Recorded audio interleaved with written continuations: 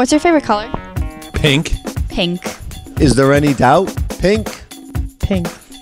Rosado. Pink. Uh, it's got to be pink. Brianna, what's your favorite color?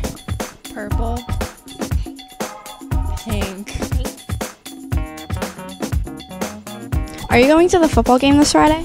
Yeah. Absolutely. Yes. Yes. No, I won't be there. Yes. Yeah. Yes. Why is it important for people to go to the game on Friday?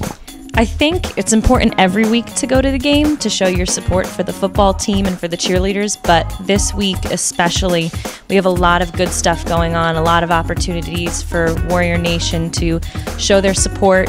Um, all the money that we raise, whether it be with pink hair extensions or donations or a bake sale on Friday, all the money is going to go towards the Breast Cancer Research Foundation, which does an amazing job at trying to find a cure. So I think it's really important to go this week to show your support and uh, hope to see everyone there.